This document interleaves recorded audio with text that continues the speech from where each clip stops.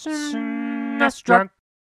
Hi there, I thought it'd be fun to take a look at some of the best arcade games of the early 90s that never got Super Nintendo ports for whatever reason. Now, there are literally thousands of arcade games, and yeah, we can play these today thanks to the MAME emulator, so I have to keep this list somewhat short. I could make this video like 3 hours long if I really wanted to. Also, yes, I'm aware that the idea of this video is a bit of a stretch. The arcade games you'll see here definitely would not look that much like how they would have appeared as a Super Nintendo port. I'm not that naive. Granted, we did get some really good arcade ports on the SNES like Turtles in Time, but for every good arcade port, there was a putrid one like Pit Fighter. Still, this is just a pie in the sky kind of idea video, so whatever. For me, the most obvious choice of a game that should have appeared on the SNES is X-Men, one of the best arcade beat 'em ups ever made, whether it was the 4-player version or the gargantuan 6-player version. Although I always felt bad for whoever got stuck with Dazzler. Anyway, what makes this game so good is how fast-paced it is. The inherent problem with beat 'em ups is that it can get boring quickly while doing the same thing over and over, but there's so much energy in this game, it's really fast for a beat 'em up, and the mutant powers are a lot of fun. I have to think this would have ended up better than Mutant Apocalypse on the SNES. Yeah, it probably wouldn't have been 4-player, but even as a 2-player beat 'em up, this is still a great game. And of course, there's also the Simpsons arcade game, one of the best games Konami ever made back in their heyday. This game really nails the classic Simpsons art style, and it also gets the Simpsons sense of humor, and represents the series as well as any game has. This is easily the best Simpsons game ever made, and nothing else even comes close. Again, I get the big appeal of this game as playing as the entire Simpsons family at once, since it's a four player game, but again, you're crazy if you think this wouldn't be as fun as just a two player beat 'em up on Super Nintendo. Next, there's the Cliffhanger, Edward Randy, and this is one of the most batshit crazy games I've ever played. Just look at what's going on here. You play as a roided up Indiana Jones whipping bad guys as you try to balance yourself on a biplane in mid flight. Then you're fighting some crazy Terminator looking machine boss. Then you're jumping between biplanes 5,000 feet in the air before you end up on a speedboat somehow. It's amazing. While the technical limitations might have diminished a Super Nintendo port, I'm not sure it would have mattered that much because the ideas here are so strong. Even if you're able to capture some semblance of the insanity here, that's more than enough. You want to get even crazier? Then there's Ninja Baseball Batman. No, not that Batman. Batman as in actual uh, bat guys. This is a baseball themed beat 'em up, and this game is as absurd as it gets. It's like if Parodius were a beat 'em up and obsessed with baseball. You fight baseball bats fighting with baseball bats, baseball gloves, a freaking baseball stadium. Meanwhile, the first boss is an airplane inside of an airplane. Sure, okay. Words don't do this game justice. It's utterly ridiculous, and I wish more people had a chance to play it back when it first came out.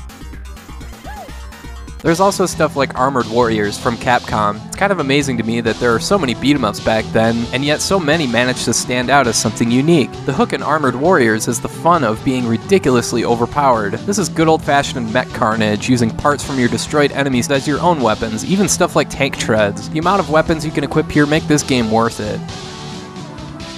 And of course, there's Metal Slug. This did get home console ports for Neo Geo, Neo Geo CD, Sega Saturn, and PlayStation, but this game was made in 1996, late in the SNES lifespan, so it's possible that a Super Nintendo port could have been at least somewhat decent. Plus, if you look at the side scrolling run and gun games on the SNES, there's really only a handful of good ones before you're getting to stuff like Jim Power The Lost Dimension, and that game sucks. So Metal Slug would have helped fill a need in a genre that was somewhat lacking on the system.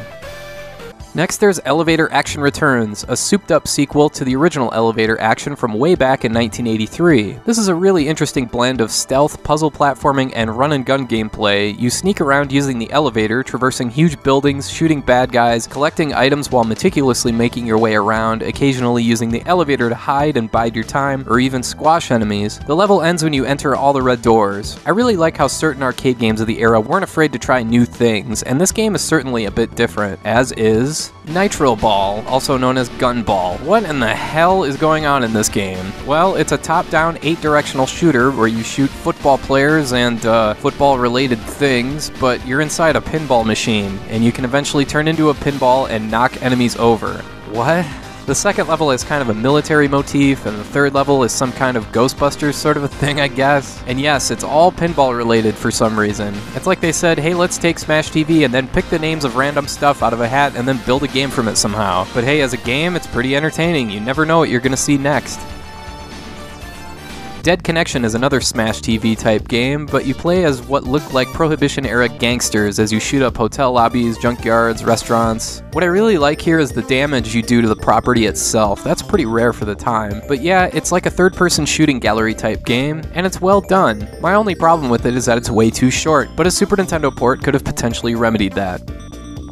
Of course, you can't talk about 90s arcade games without talking about one on one fighting games. My personal favorite back then was X Men vs. Street Fighter, which served as a precursor to later stuff like Marvel vs. Capcom and Capcom vs. SNK. I remember as an 11 or 12 year old writing a letter to Nintendo Power begging for an X Men one on one fighting game, and maybe somebody heard me. Alright, maybe not. But still, I've always loved this game and felt it would have been right at home on the Super Nintendo. Instead, we got Street Fighter Alpha 2, which is a fine game, but it didn't have mutants with adamantium claws or optic lasers and stuff. There are several dozen other fighting games I could also add to this list as well, like Last Blade, Dragoon Might, or Monster Maulers.